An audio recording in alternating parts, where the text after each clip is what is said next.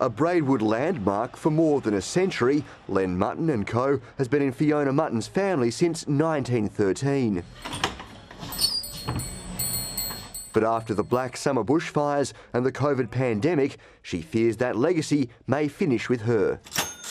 There's very little left in reserves uh, to, to go forward with, so we're really hoping that spring was going to be, um, you know, good trade for us. Those hopes now all but dashed by news the King's Highway will be closed around the Clyde Mountain from 8am to 4pm Monday to Thursday from the end of this month until mid-November, with some 400 trees along the road to the south coast to be removed due to bushfire damage. I understand the work needs to be done, but a midweek closure and no community consultation, like it's just un unbelievable. Fiona says she only became aware of the impending closure in the past few days, and she's not alone.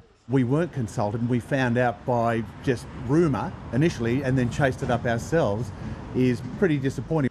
The Braidwood Business Chamber suggests closing the road for fewer days but working for longer hours would soften the blow. Some businesses here close down because we have reduced travellers on you know Tuesdays and Wednesdays.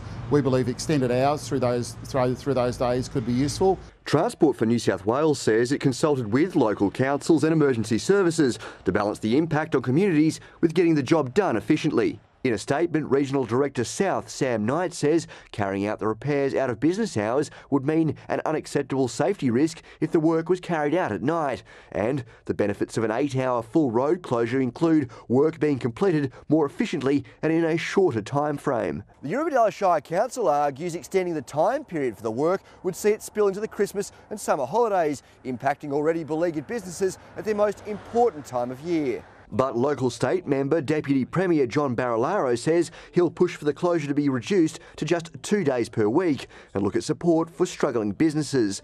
Meanwhile, the road closure is set to begin on August the 30th. Harry Frost, ABC News, Braidwood.